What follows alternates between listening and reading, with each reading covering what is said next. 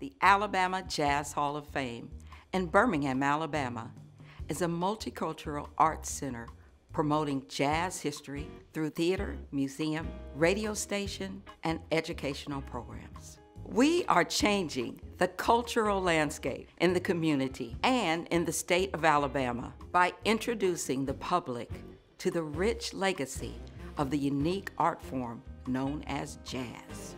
We want to impact youth so that they can be proud of all of the great artists that have passed through the state of Alabama.